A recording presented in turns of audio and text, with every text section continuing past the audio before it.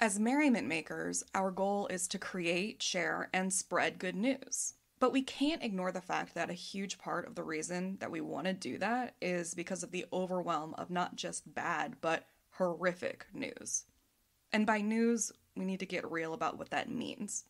We mean events like weather and climate change, earthquakes. We mean pandemics, sickness, hunger, poverty, homelessness, unclean water. And we mean people. We mean the actions of people towards other people, the negligence, the lack of compassion, racism, sexism, ageism, xenophobia, the crime, the acts of violence from one person to another, acts of terrorism. When we say news, we have allowed ourselves to disassociate from the intimacy of the acts happening to and by people like us. The word news removes humanity from our fear, horror, and grief. So today, I want to talk about how we got so inundated with bad news, what good news is, and how we can make more of it.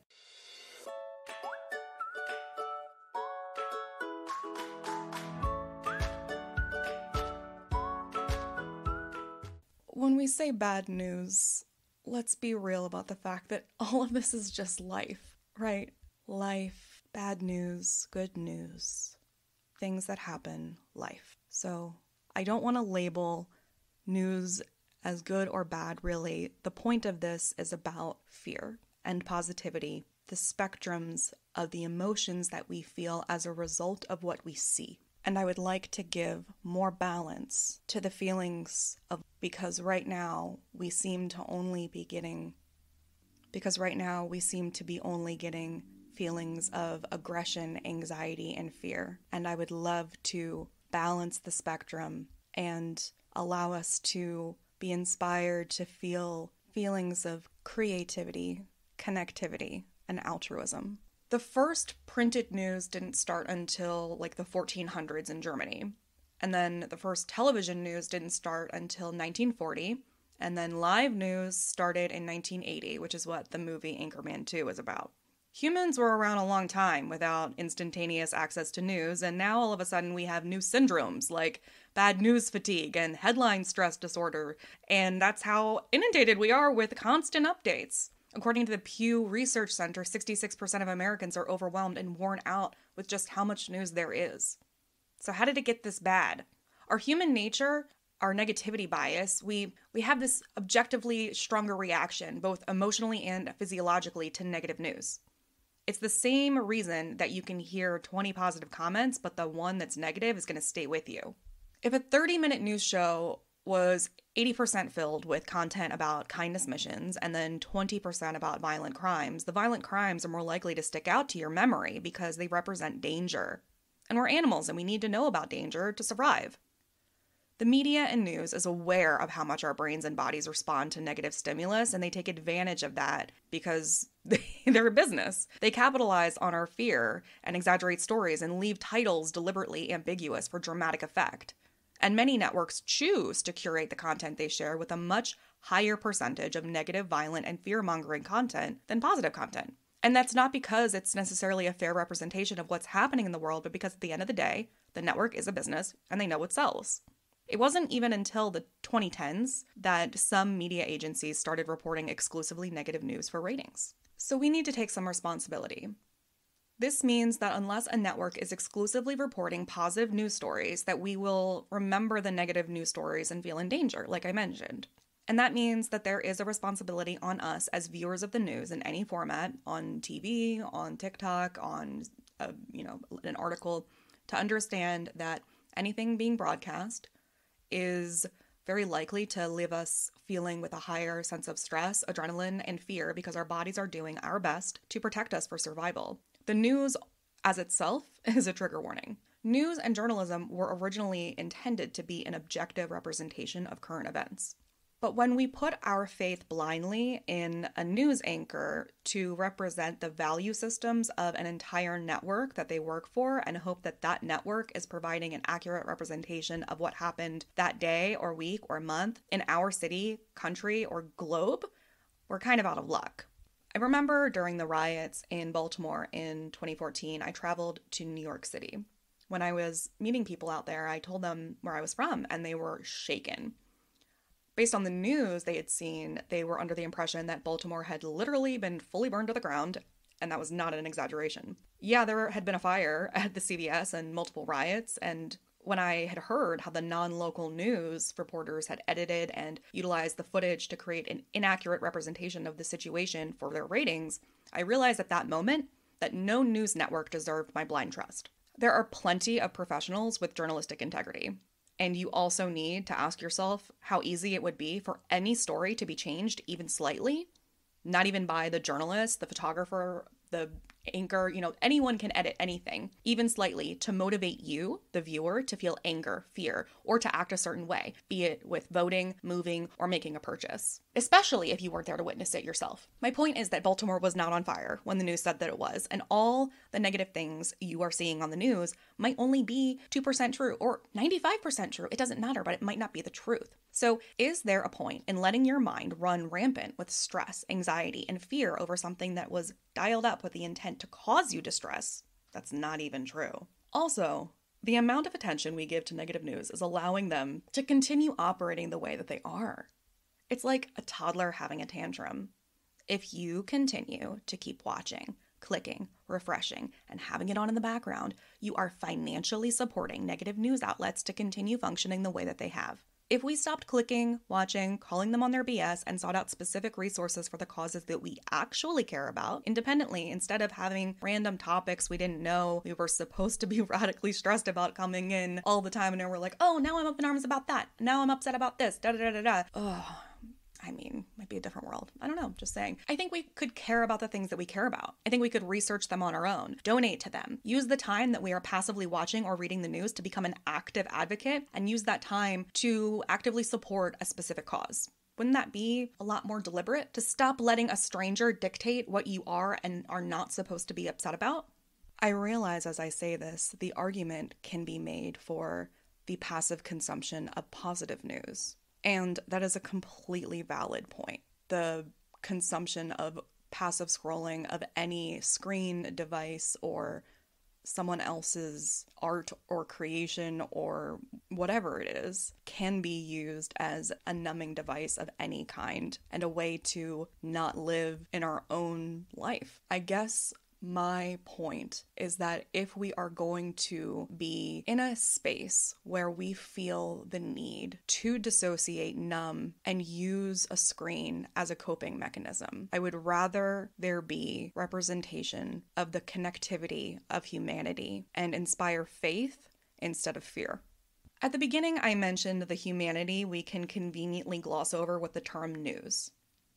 It's kind of like dulling down art to the umbrella term of quote content. Once I heard someone say that we have the word genocide so we don't have to explain the details of what exactly is happening during a genocide. I don't really believe or agree with that because that's what words are created for, but I do agree that sometimes words give us the luxury of moving past intimacy. If you need to slow down and explain something, you really need to think. Go ahead and explain the internet in a sentence, real quick, to someone who doesn't know what it is. Much easier to have the word internet, isn't it? Especially when you might not fully understand what it is. I, too, have the goal of not wanting to gloss over bad news, even in this microspace of this episode.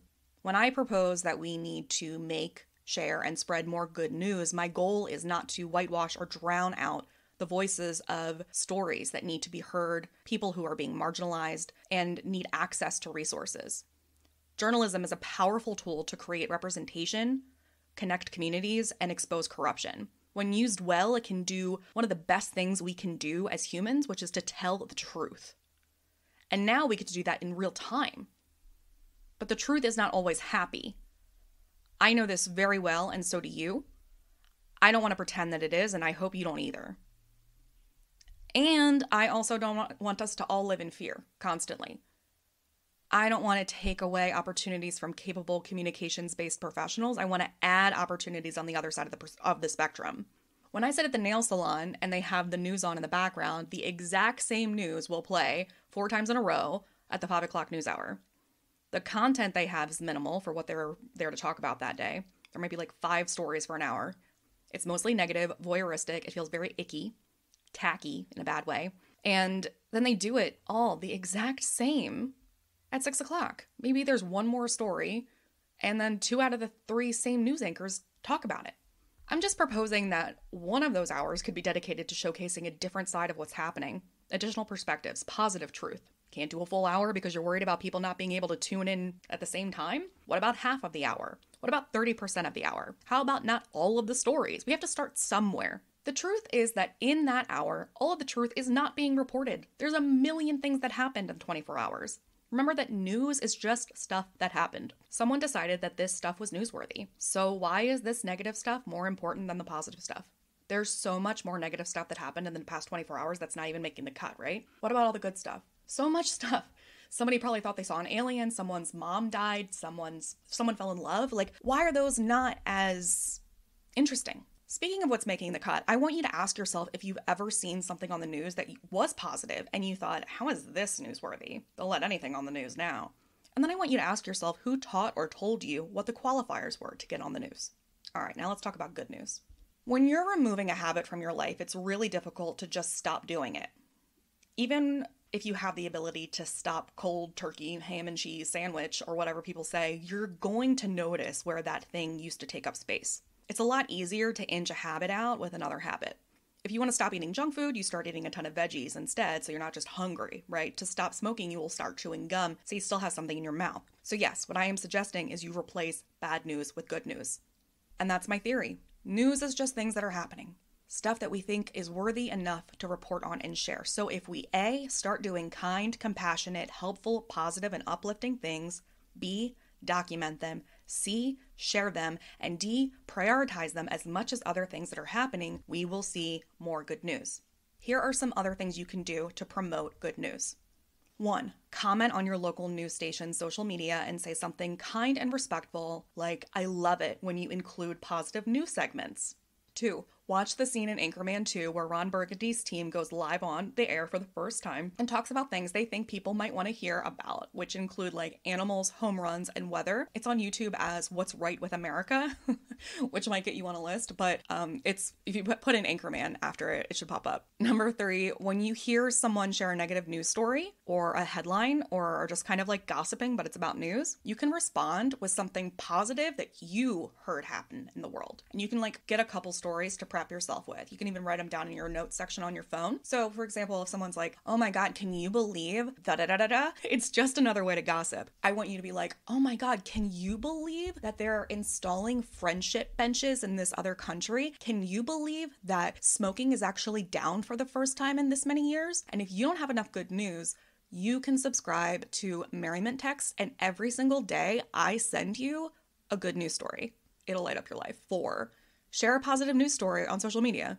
That's amazing. Like every Monday, I share merriment memes on Instagram. Number five, make a list of things you see people doing out in the world that could be considered good news. I want you to reframe what is good news. Falling in love is good news, you know?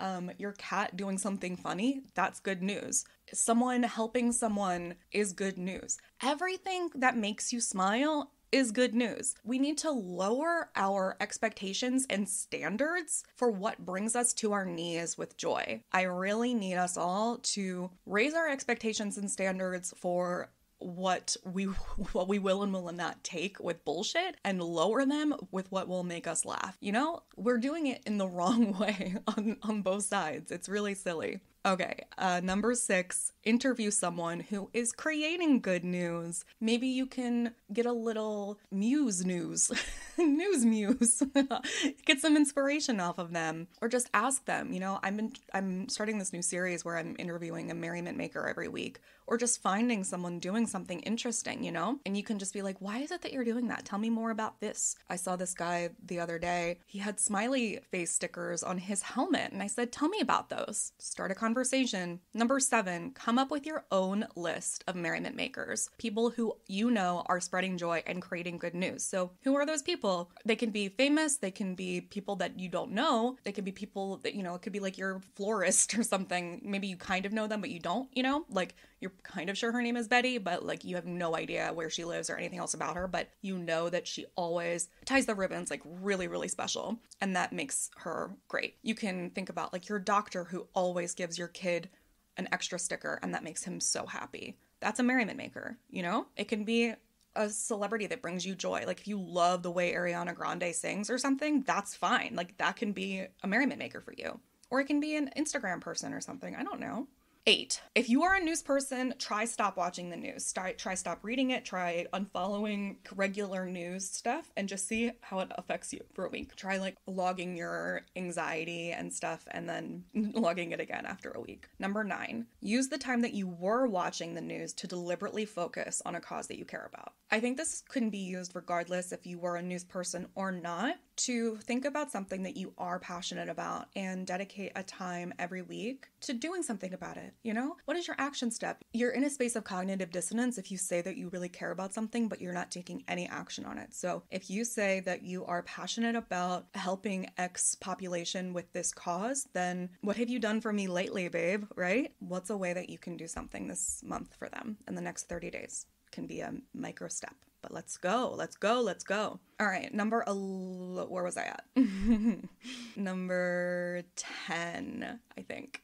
Yeah. Focus on embodying joy so that you yourself can become a positive news story in the future. This is really important. In the merriment making method and theory, you must embody joy before you spread joy. We don't have you out there spreading joy unless you feel good. So ultimately, I probably should have put this first. I don't want you to overexert yourself. You need to feel good so you can do good, right? That's the saying. But also, this is really good incentive because it's ultimately like a comeback story, right? It's your own metamorphosis, transformation, evolution, comeback kid kind of, you know, montage story. So if you become your own positive news story, like what is your transformation? Is it going from depressed to more happy? Is it going from one body to another? Is it going from one house to another? Like, I don't know. Like, what is the current transformation that you're interested in that will help you embody even more joy? Not, I'll be happy when thinking.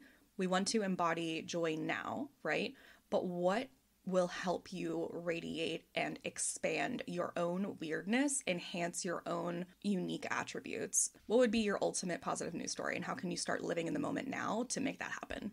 That's a better way to say that. Number 11 is to do an act of kindness and become your own good news. Hashtag merriment making. So, I mean, that's, I have so many ideas for random acts of kindness, and there's so many on the internet. Like, it's just overwhelming. But, you know, acts of kindness can be very simple it's really just another way to say be extra, extra nice to someone. It can be premeditated, it can be in the moment, it can be anything from smiling to giving a gift. It's, just, can be to a stranger, can be to a friend. It doesn't matter. It's literally just being nice.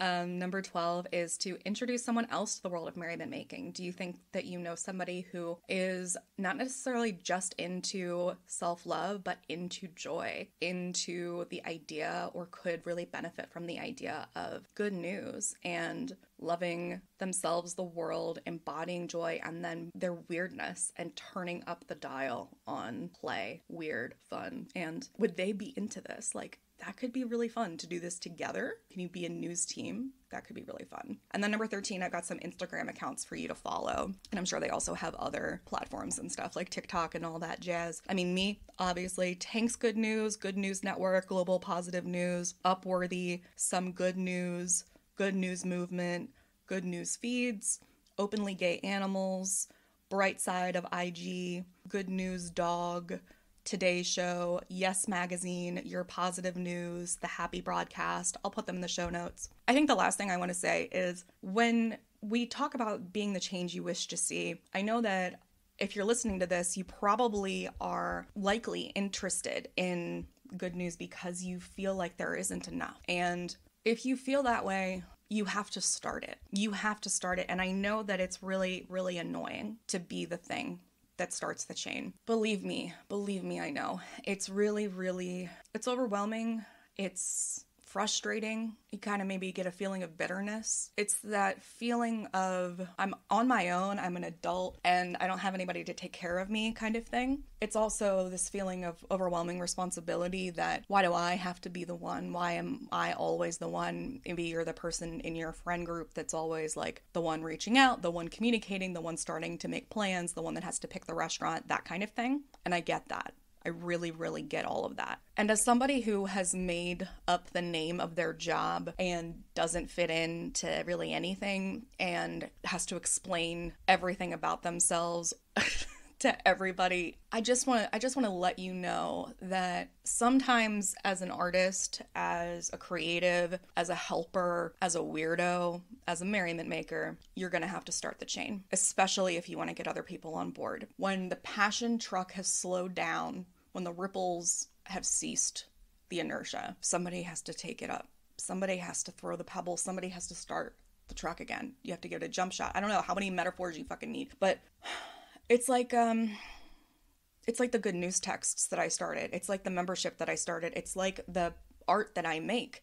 No one else was doing it. I had to do it. Do I do I wish that someone else would do it and I could see it? Yeah.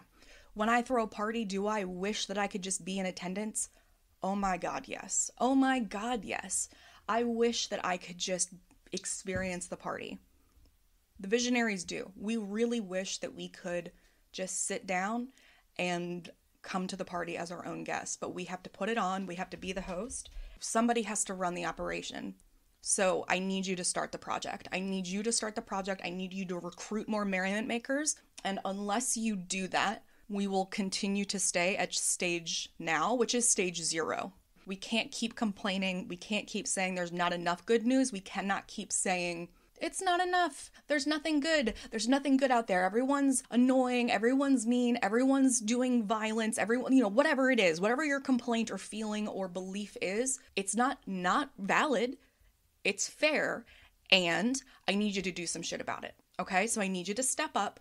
I need you to pull on the big girl pants or whatever the fuck people magnet slogan. And I need you to make some art.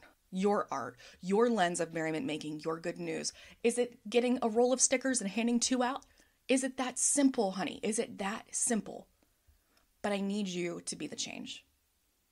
We can't just post pictures of be the change you wish to see. That doesn't mean shit if you're not doing it in real life. It doesn't mean anything. It doesn't mean anything. It doesn't mean anything. It only means something when you're dressed as a banana on the street or whatever that version is for you.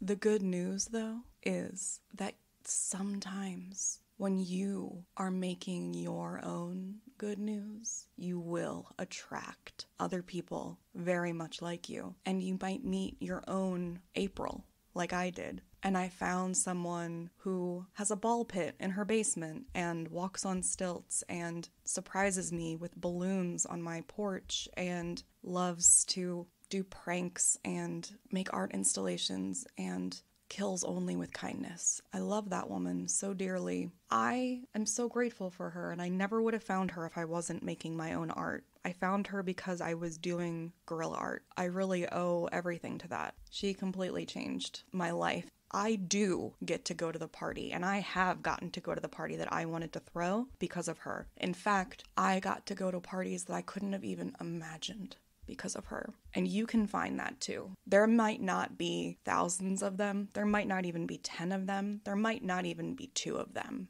but there is one other like you, at least. That's an amazing find. But you're not going to find them if you're not making your own good news. You're not. So you better start. You better start. And then you will get to go to the party. You can co host. You can take turns. And I hope you know this is a metaphor for everything. All right, go be your own good news. Remember, you have to feel good to do good. I love you.